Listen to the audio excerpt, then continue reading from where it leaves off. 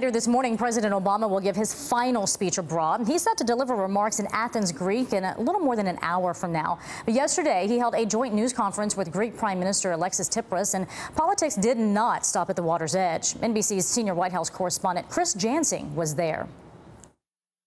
Good morning, and it's going to be a very busy morning for President Obama, who will be giving his final speech on foreign soil. A big picture look at the world, but a very different view than he might have given had Donald Trump not been elected. Now, all the questions that are being asked by foreign leaders, including the Greeks. President Obama has tried, as the U.S. has, to help them deal with a crushing debt unsalvageable is the way that Donald Trump has looked at it. And so these kinds of questions, these kinds of concerns, he's going to be addressing today in a speech that I'm told has kept at least one senior aide up for most of the last three days. Now, yesterday he gave a press conference with the Greek prime minister, and I asked him about whether or not he feels any responsibility for the outcome of the election. Here's what he told me. I was surprised by the election results, uh, and I've said so.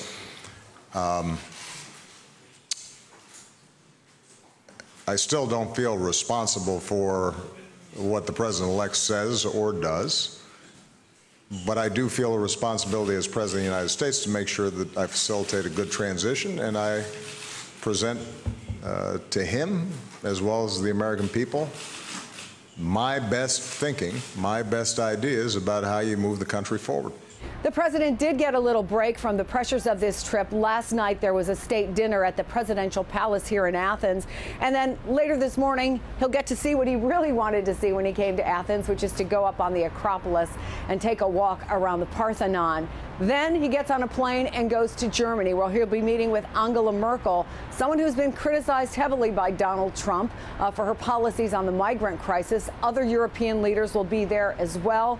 And then the final stop on this trip, which will be Peru, uh, ending the week there where he had hoped to, frankly, be giving them good news about TPP, a signature trade agreement that he hoped to get passed in a lame duck session of Congress. That is now dead. So, a very different kind of trip than President Obama would have planned just a little more than a week ago before Donald Trump was elected president. Back to you. All right, Chris Jansing there. Thank you. And still